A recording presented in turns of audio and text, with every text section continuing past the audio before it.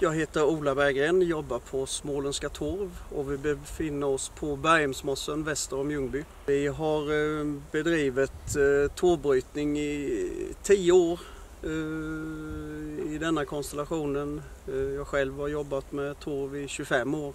Vi bedriver verksamhet på fyra olika täkter, driver alla i egen regi. Vi har eh, ett 20-tal traktorer, eh, rullar vi runt det ungefär på 20 säsongsanställda. Verksamheten rullar sju dagar i veckan, dygnet runt när det är säsong. Vi kör mestadels Valtra, de nyare traktorerna i dagsläget eh, Valtra. Sen har vi någon Case, gammal Magnum och några John Deere.